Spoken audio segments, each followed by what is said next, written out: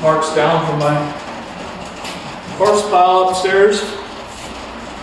A brake booster, a brake booster, and a brake, uh, brake pedal assembly, and accelerator pedal. And today we're gonna, today we're gonna uh, get some of the steering and brake pedal assembly mocked up.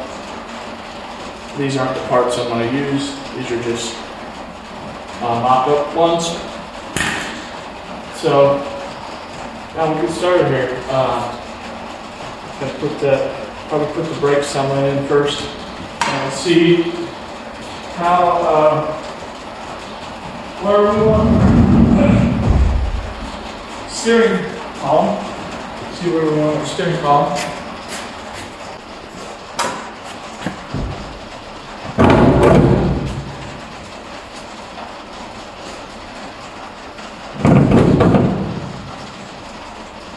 See I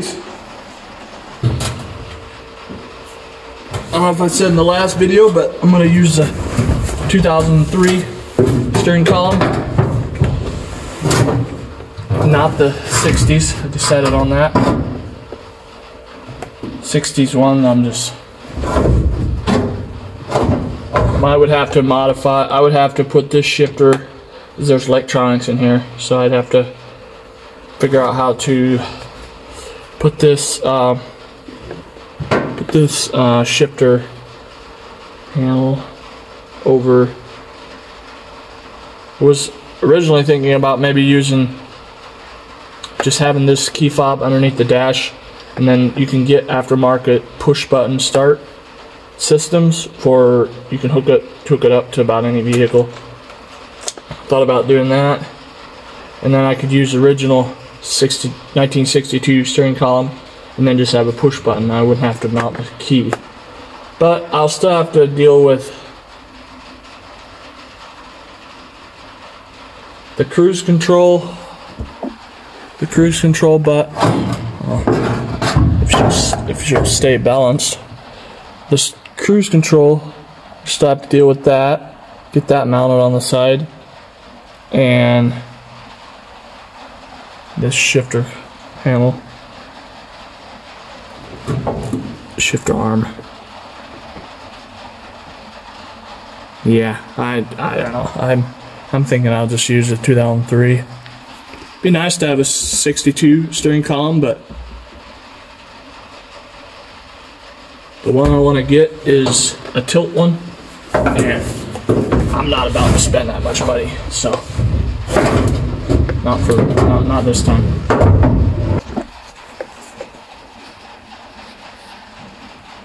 Something like that, like that down there, the shaft there, we could have that a little bit offset to that side. Like it wouldn't really matter, it could have it, you know, could have it like a little bit to the one side because that has to be notched out around there. So this fits up tighter up in there.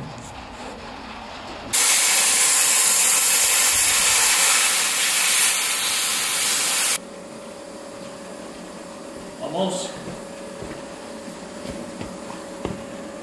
There's two layers here, so this has to be knocked out on the outside.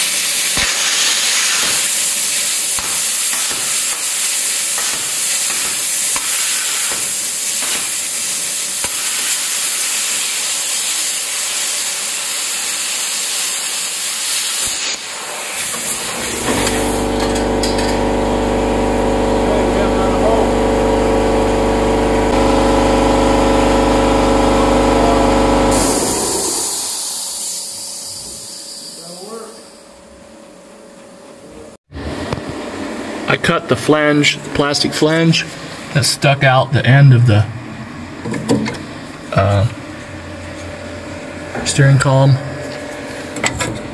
Stuck out the end of the steel there. I don't really didn't see where you need it or where there's any need for it, so I need the room to clear this brake pedal. Um, I got a wire holding this column up. We need a bracket there, and down there. We got those brackets made right there. Some bolts welded through the down the top side. So I can just when I put the steering column on, just put a nut on the bottom. Right down there's relocated. Took the steering column out because next thing that we want to do is get some switches mounted up here. This one anyways. So what I'm thinking is we'll have this somewhere in here and then this one here I'm just gonna leave and I'll put my uh, five position EFI live tuner in here. I'm gonna focus focus on this side once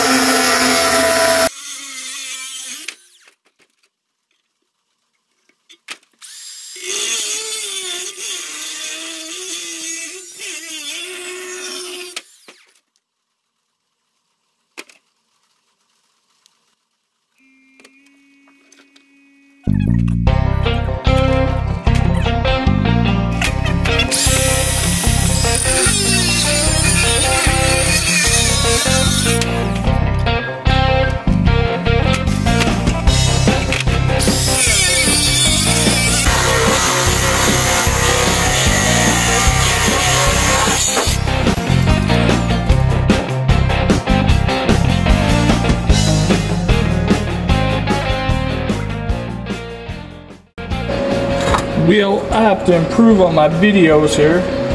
Definitely. I had my time lapse going and I didn't have it quite positioned right. So I'll just explain what I was doing here so far. Um, this right here. This is just a mock-up switch, so I don't care if it gets melted. It's kind of hot. So that's what we're building. Basically a casing.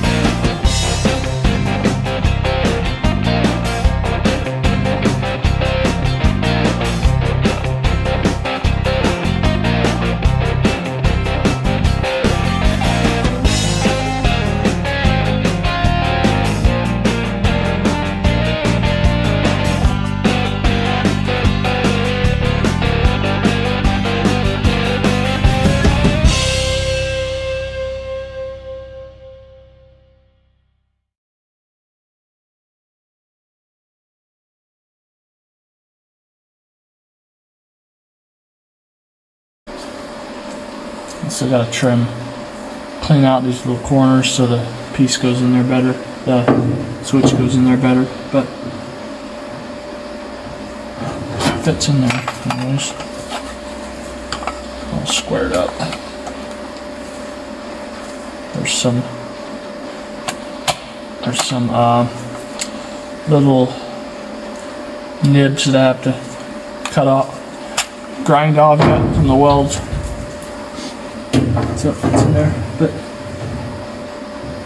here is what we're thinking here. Actually, I'm going to use a knife and score score a line instead of marking it. That way I can get as close as possible to switch surround.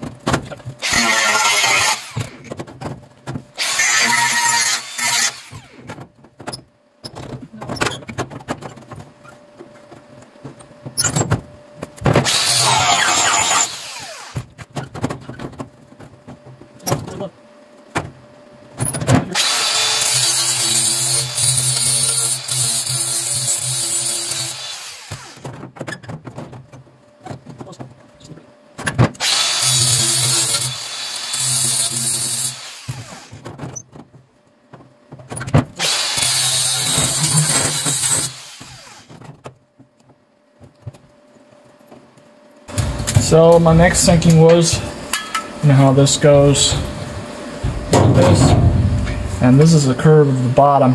So I'm gonna take this exact piece and put it back on here. Um, like put it on here, so it has that same curve on the bottom.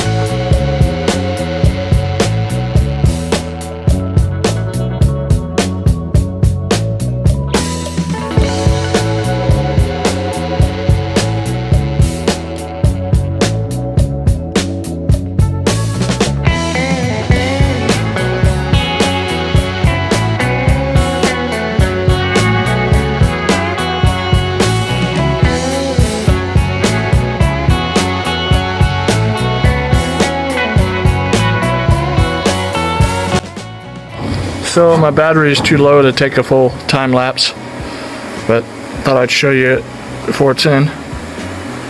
Pretty cleaned up, still needs some burrs cleaned up around the inside, but this is how it looks without welding in. I was originally thinking about having it protrude out a bit, you know,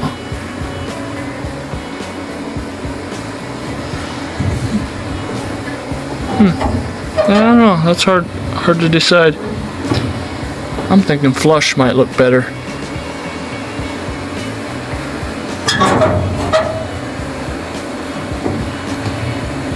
I think I might have it protrude about the same amount as that right there does. Those little switch holes there.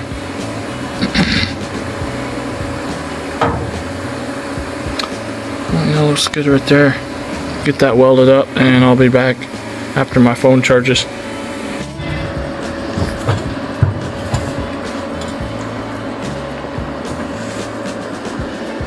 Only took me about an hour to do to put this all together. Uh, what took me the most time is grinding all this out. This weld in the corner, but I got most of it out. Once it gets some primer on it, you can tell tell more where the high and low spots are. But then I decided to just oh, where's my piece. Right here. This piece here. I kind of like the factory. I can maybe stay here. Well, the, the factory lines here, I kind of like those. Um, but those will be pretty hard to recreate. I mean, it'd be possible, but I'm not. I'm not gonna do that. I cut the whole piece out because these. Yeah, I could have used this one, but for the EFI, but these three I don't have any use for. So I decided I'm just gonna cut the whole thing out and replace it with some with some smooth metal. And then if I end up putting switches in, I can just put them right where I want them. So I'm gonna go ahead and weld that in. And then I'm gonna have to recut the the hump where the hump needs to be. That way it'll be bit more finished look. This this will be like straight up and straight across, you know, curve straight across and down. Uh, I'm gonna get that all welded up and ground off, and then put the steering column back in here and show you guys how how everything looks.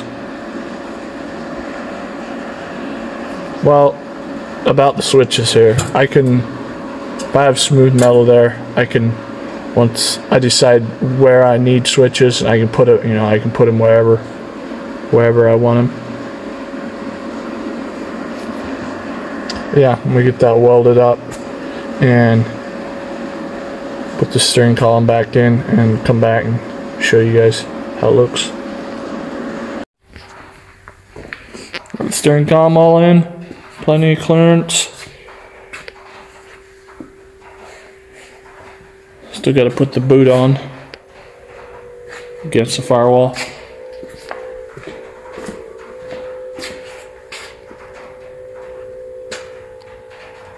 Steering column's in.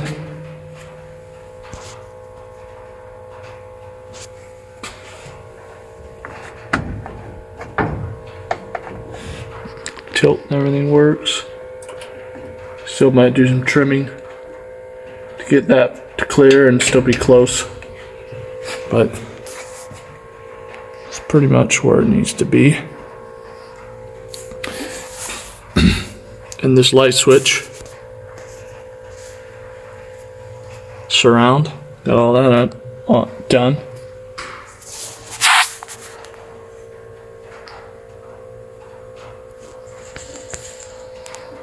Still needs a little bit of body fill here and there, but turned out pretty good. Well, that's it for this one.